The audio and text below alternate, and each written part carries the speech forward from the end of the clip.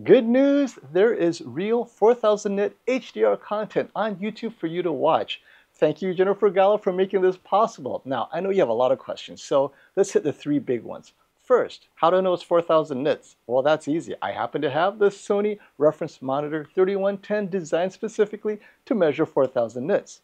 The second question we're going to answer is, why is this so great for a TV reviewer like me? Third, and most importantly, how is this relevant to you as a TV buyer who is happening to consider paying a lot of money for a super bright TV like the LG G4 or the Sony Bravia 9, both of which are on sale at Crutchfield, today's sponsor. Father's Day is just around the corner and there's no better place to find the perfect gift than Crutchfield. I am so excited to partner with Crutchfield to help you find that perfect Father's Day deal. Check it out. They've created an easy to use gift guide featuring their top 20 giftable items. It's never been easier to find the perfect present for dad. Scrolling through these items, if someone was to give me a Father's Day gift, it would definitely be this highly regarded Sonos Era 100 wireless speaker because I would want it to be part of their amazing Sonos Arc soundbar bundle. Two Era 100 speakers, the Arc soundbar, and a subwoofer. You know what the best thing about shopping on the Crutchfield website is? It's their easy to use product filters and informative articles. For example, you want to get a large TV, but how large? Well, let's check out this article on TV sizes. You're about 9 feet away from your TV and voila, you want a 98 inch TV. A quick search and look at this. I'd definitely go for the Samsung DU9000 for under $4,000. So don't miss out on these Crutchfield Father's Day deals. I've linked my favorite products in the video description below to help you upgrade your home theater this summer.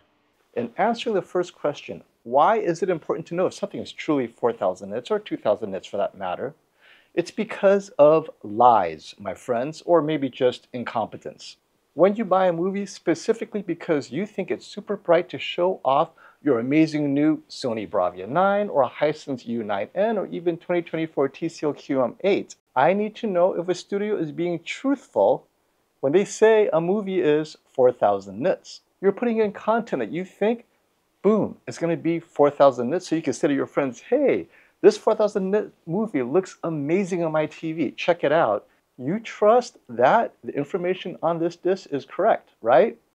Aquaman HDR10 metadata on this disk shows the content maximum light level is 3241 nits. That's pretty specific, right? It's gotta be the truth. Let's confirm to see if this is even close. The Sony 3110 has this awesome waveform which measures the exact luminance of the signal in real time, frame by frame. Each line from 600 to 1500 to 4000 nits to 10,000 nits, basically doubling the brightness each time you make that jump. And this is why studios use a reference monitor to know that when they put out a movie or they finish coloring it or grading it, this is the brightness they want you to see. But let's examine some of the brightest scenes in this movie since the disc claims that the content maximum light level is over 3000 nits. And check it out, utter disappointment going through the various bright scenes that I thought were almost 4,000 nits, not even close, literally less than half the brightness. Clearly hard capped at around 1500 nits. Ouch. And sadly, this scene from Pan is now dead to me.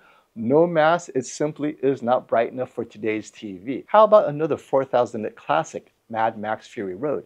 Is its claimed 4000 nits an urban myth? Let's see. In this explosive dust storm scene, flashing lightning and explosions. Indeed, the white light, bam, almost 4,000 nits. I'm satisfied. This movie passed the test. But if you notice, right, when does it hit almost 4,000 nits? Bright light, lightning. So clearly white is the easiest color to hit 4,000 nits because as you get brighter and brighter, the TV's ability to show color luminance starts to drop off.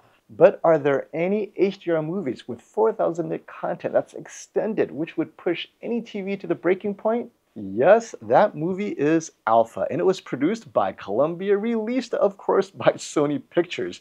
That's a good sign. And bingo, we have a winner. Check out these extended scenes around the sun. Bright yellow here, or an extended sunrise there. This, my friends, is legit. Bright, with a touch of color, and extended beyond just a flash. Look again at the scene from Alpha. You have dark shadow and bright sun, just like in real life. You're almost squinting. That's what I mean by high dynamic range. Dark shadow in one area, bright light in the other. That's reality, and that's what I love about HDR content. Crazier still, this movie was released in 2018, way before the Sony 3110 was born. Very impressive, Sony, very impressive. But where else can you find 4000 nit content beyond these two movies? You want a bit more of that content, right? You want extended scenes, maybe an hour's worth of content. 4000 nits, scene after scene, to show off your brand new super bright TV. How about on YouTube? For free. Yes, it's Jennifer Gala's HDR Super Channel that delivers the goods. When her title says 4000 nits, my friends, it is 4000 nits. Check it out.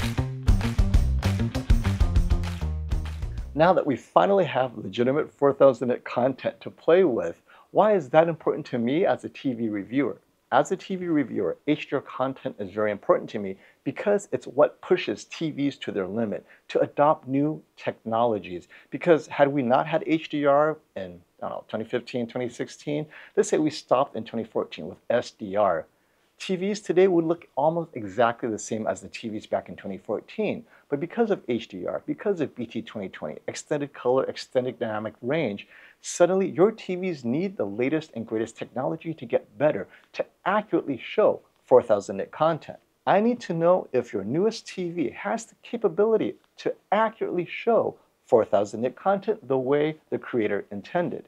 For example, if a less bright TV is not capable of 4000 nit, but only able to show 1500 nits peak brightness, what does it do with Jennifer Gala's 4000 nit content? Well, one of two things. Either it dims down the whole image to show you all the specular details, right? All the details are there, but slightly dim, like the Samsung Q900D, or it tries to hit that maximum brightness, unfortunately clipping all those details. So you see bright white. Now, many TVs will go to what Samsung is doing, which is dim it down a little bit to show you all the details because it looks more natural. Which takes us to the third question, why this is important to you as a TV buyer, as a consumer. As studios begin to put up more and more 4000 nit TVs outside of just Mad Max and Alpha, thank you Sony for making this more likely with the 3110, we now have content on YouTube, thanks to Jennifer, that we can test and for you to show off your own TVs. Most importantly, you can watch it now to see, hey, is my TV clipping? Is it tone mapping? All these things are now available for you. And what about you? What do you think about the misrepresentations about brightness on movies like this? Let me know in the comments below. Until next time, stop the FOMO.